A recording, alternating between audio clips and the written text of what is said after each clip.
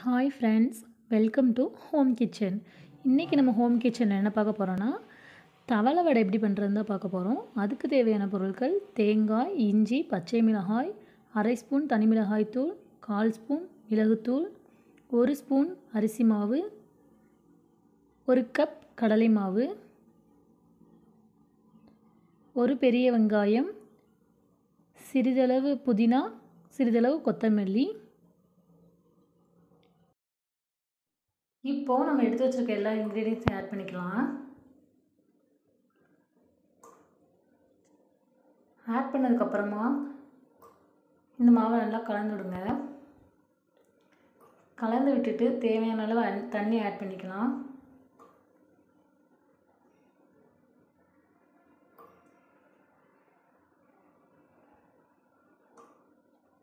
தேவையான அளவு உப்பை ஆட் பண்ணிவிட்டு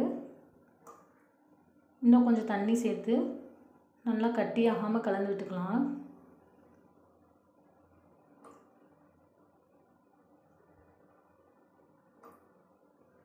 இந்த வடைக்கு மாவு இந்த மாதிரி தண்ணியாக தான் இருக்கணும்.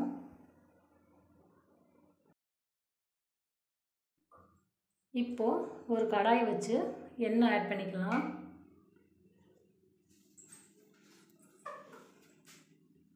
எண்ணெய் நல்லா காயட்டும்.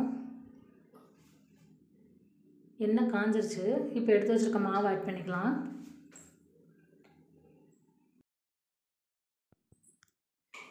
இதை இப்போது திருப்பி போட்டுக்கலாம். திருப்பி போட்டு ரெண்டு சைடும் நல்லா வெந்து வரட்டும்.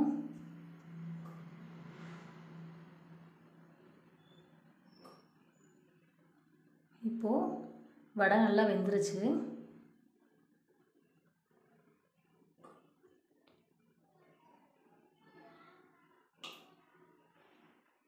வடையை இப்போ எடுத்து தட்டுக்கு மாற்றிக்கலாம்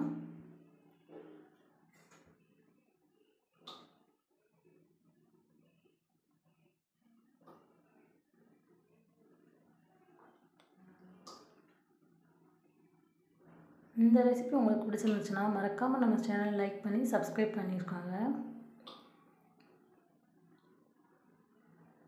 பெல் ஐக்கான் ஆல் பட்டனையும் கிளிக் பண்ணிக்கோங்க.